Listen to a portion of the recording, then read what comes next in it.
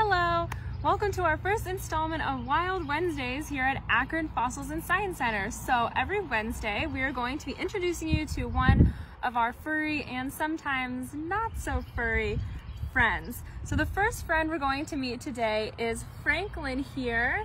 He is one of our Netherland dwarf rabbits. So you can see his short little ears right here. This is one of the defining features of the Netherland dwarf rabbit. Now these rabbits were bred by combining a Polish rabbit and a wild rabbit.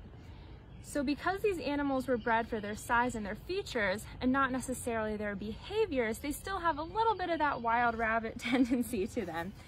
So they're not the best pets for small children because they have a tendency to be a little bit skittish. They don't like being picked up suddenly, but they respond really well to bonding with a person and nice quiet environment. So they make great pets for, for adults.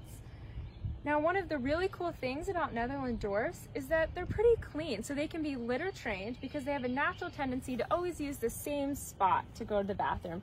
So they're really low maintenance. They just take some nice care and attention you can see those little tiny ears there. Now Franklin here recently had the privilege of becoming a father. You might have seen the picture of his baby and mom Remy last week.